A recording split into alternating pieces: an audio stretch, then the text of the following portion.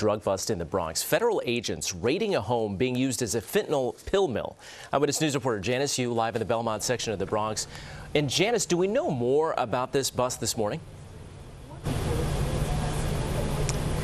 Uh, yeah, Mike, uh, we actually do. We're getting a look at some of the uh, uh, pictures that from what was found inside of here. But this is the house where this drug bust happened, and it's actually just around the corner from a daycare as well as a school.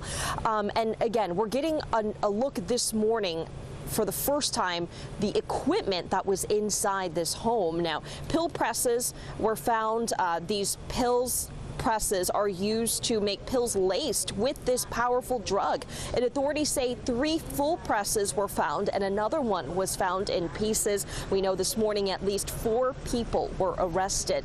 Now, neighbors say they heard smoke bombs go off before local and federal authorities wearing hazmat suits went into the home yesterday. And inside they discovered fentanyl as well as other drugs.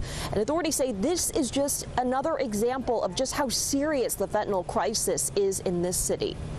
Obviously, we're, we're finding it uh, in kilo press form, but we're also finding it in, uh, in pill form, uh, what the, the street dealers are calling fakes, meaning that uh, you know, we have drug users out there that think they're buying Oxycontin when in fact they're buying straight fentanyl.